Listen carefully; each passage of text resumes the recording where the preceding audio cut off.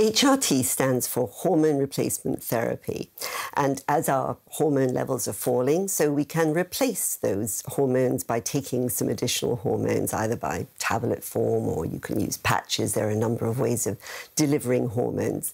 And that can be very beneficial to our skin, to our hair. It, it staves off those age related changes that we've been talking about, certainly. But for hair, it gets a little bit more complicated actually than it does for the skin. HRT's hormone replacement therapies are made up normally of two components. So you have the estrogen, and it's the estrogen that we want.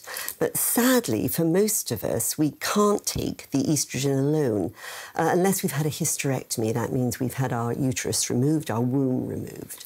Um, because we still have a womb, we need to have something in that HRT which is called a progestogen. But the fact is that most progestogens are actually derived from testosterone, which is the male hormone.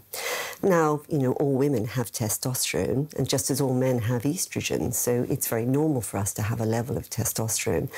But interestingly, particularly in those women who are more inclined to suffer with what we call postmenopausal female pattern hair loss, that is, they're more genetically predisposed to that problem.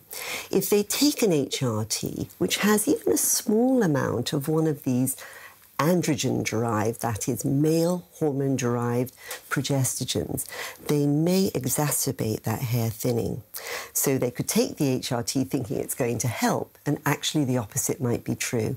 So this can be quite important. Now, that's not going to apply to everyone. Some women may take an HRT with a male hormone derived, test, uh, testosterone derived um, progestogen, and their hair will be fine and it'll look great.